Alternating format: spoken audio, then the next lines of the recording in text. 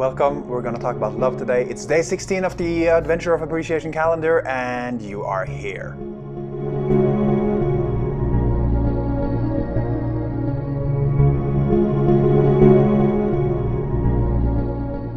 My name is Theo Flove, you know me. I've been talking to you for 16 days now, 15 days. And if you have participated, you will hopefully have benefited a lot from these self development tools that I've given you, which has to do with how you can participate in life in a more loving, harmonious, and to your liking way. It's how to become an emotional way, uh, an emotional alchemist and a vibrational weightlifter. It's as if you uh, develop your faculties of relating to people in a more uh, harmonious way. And also, like the last video, if you watched yesterday video, did you watch it? Did you watch it? Did you watch it? Did you, did you watch it? I hope you watched it because I gave you some incredible questions that have been serving me for a long time. And those questions are something you use when life gets hard, when you feel less than good. That is when you use these tools. It is very powerful. It helps you to rise up wherever you need to rise up in your life. Today, we're gonna ask ourselves one of the most incredible philosophical question. It has to do with love, and uh, you know it's right up there with some of the most amazing questions uh, we have in philosophy. For example, who who am I? You know that's a, one of the greatest philosophical questions ever. Who are who are you? And you know other questions like uh, where are we going? Where are we truly going? And why are you here? Why are you here? These are incredibly fascinating philosophical questions. Now, today we're going to ask another question that has been, uh, you know, asked in, in uh, literature for a long time. It's been infused into art, and it has even had songs created about it. And here's the question What is love? And no, this is not going to be uh, about a baby hurting you. Uh, no, baby don't hurt me. No, what is love? I like actually asking that question. Before I offer you any type of input, uh, perspective, or hopefully something that may inspire and illuminate parts of your mind that you haven't illuminated for a long time, before I do that, or offer my help to do that if you allow it, let yourself discover your personal answer. My father always told me that there are as many viewpoints in this world as there are people. There's as many spiritual, uh, you know, pathways as there are conscious points of uh, observation. There are as many meanings and viewpoints as there are people. This is why it's so important, especially when we talk about something as personal as your internal and therefore becoming external emotional life, your feelings. I'm just here to assist you on reframing and rediscovering yourself, shedding whatever you were for the benefit of all that you can be. Now, let's ask ourselves what is love?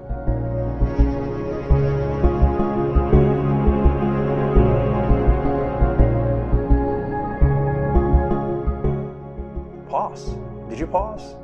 Did you take a moment to, to think about this for yourself? It's funny, I actually asked uh, a few of my friends and uh, in my online accounts, what is your favorite feeling? And I thought for me, you know, if I just gave them the answer, it would be obviously for me love. I love love. I, I mean, love to me is a word that represents so much and is very different than what other people may put into the word love. Uh, a friend of mine, Osa, she wrote a beautiful uh, question on Facebook where she asked, What is love?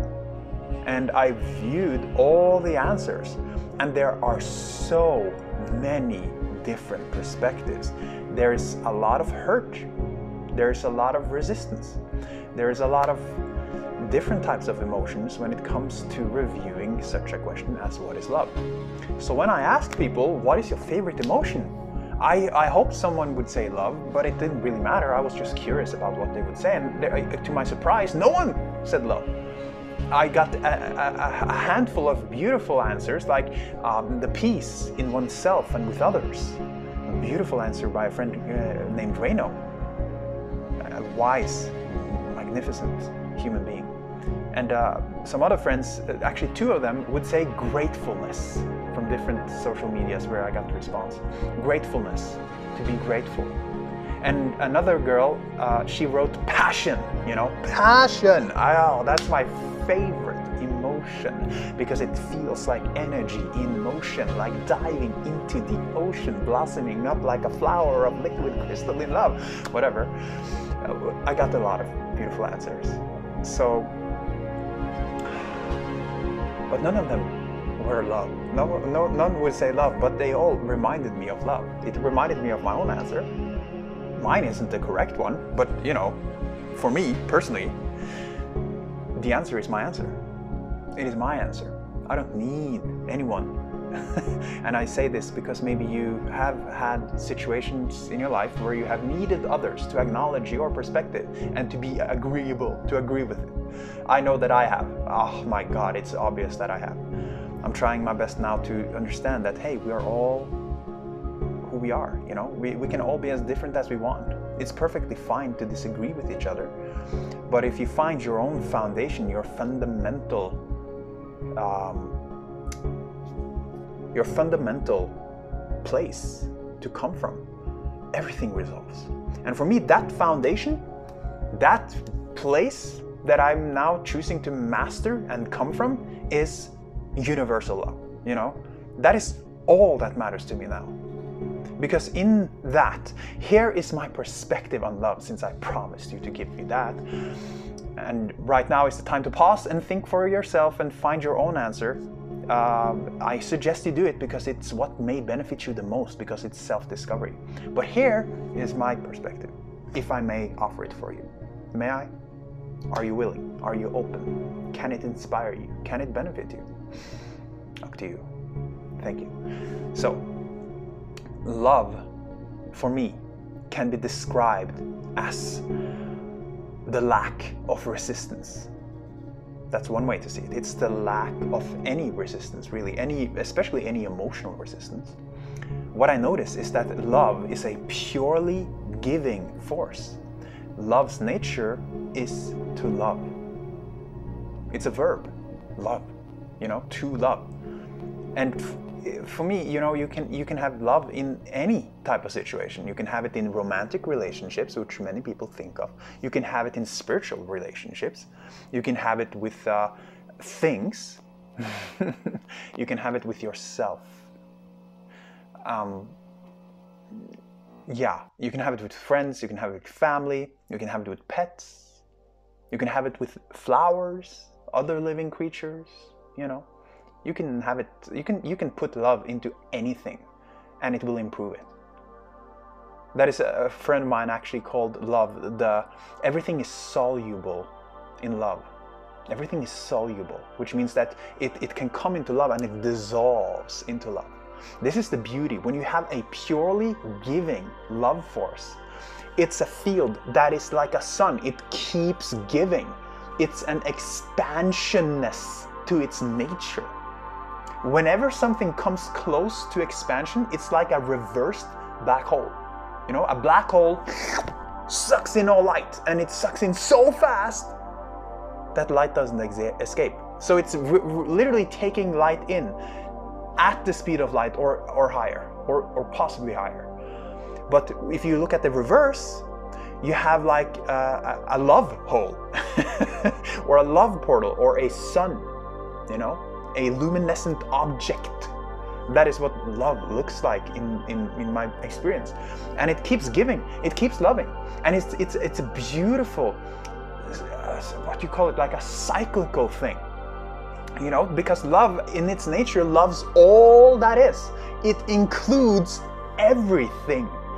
All, everything. If love meets you, it will love you So it's like a gravitational pull. For me, you know, I've, I've, I've described love as relational magnetism. When it comes to relationships, it's a magnetic force, you know? It just, it's, it's so beautiful. It's so pleasurable. It's so delightful. It, it, it brings gifts in abundance. The first, I mean, when you merge with the power of love, with you, when you merge with a, a, a, sphere of love, you can't help but feel love. You can't meet love without becoming love. It's our nature, in my experience. It's your nature. It's the way our body functions at its optimal level, which is one of the many reasons for why I choose to focus so much upon universal love. Universal love, unconditional love, cosmic love, inner peace, outer happiness, you know, whatever you want to call it. Gratitude, appreciation. Hmm. These are all descriptions of the same thing in my experience, or in our experience. Now, why do I keep defining these as personal experiences? It's literally just to not step on your toes. It's, it's to not offend anyone. It's to acknowledge the fact that we have parallel realities overlapping, meeting in these common realities. Like right now, we are in a common reality, observing each other. So I, I, I used to say, this is my personal viewpoint, only because I've had a lot of experience with people not enjoying feeling like they don't have their own experience, their own perspective. You know, it's very soothing for the ego to to have an anchor point like this is me now I know who I am and I don't have to pretend that someone has influence over me. I had a long period of my life where I didn't like learning from others because if I did, that meant that they were better than me and it has nothing to do with that at all. It's it's when you are actually able, you're you're you're you're always capable, but it's when you are ready and open to to feel a certain flavor of love that you are ready to learn. Because you, you, you can't learn if you're shut off. If you have resistance, you can't learn. If you have resistance, you can't love. You see, love flows like water. It's a beautiful thing. As I as my friend said, everything is soluble in love.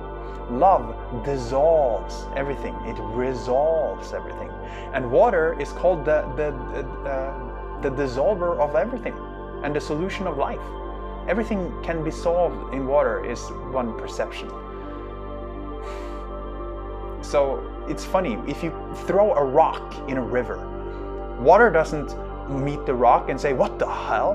What is this rock doing here? It doesn't stop, point fingers at the rock and say, Remove this rock immediately. I don't like this rock, take it out of my water.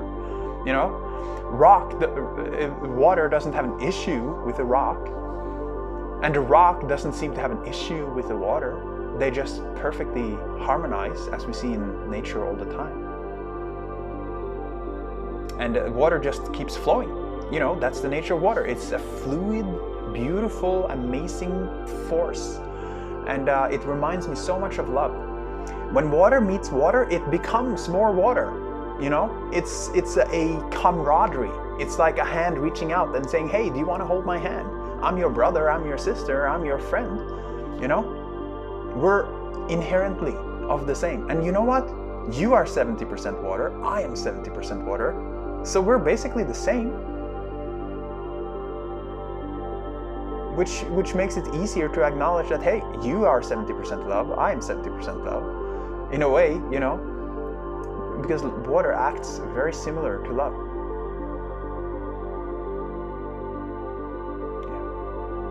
I, that's what I wanted to share today. I could go on and on and on on this topic. Tell me if you enjoy it. Tell me if you don't enjoy it. Uh, don't tell me anything if you don't want to tell me anything. Be you, whatever. Be true to you. What is love for you? What happens when you travel at the speed of love, where you don't have any resistance anymore, and the speed is automatic. You transcend time space, move faster than the speed of light, and you become the speed of love. Enjoy. I love you. Have a great day. I hope to see you tomorrow. If not, I hope you see you.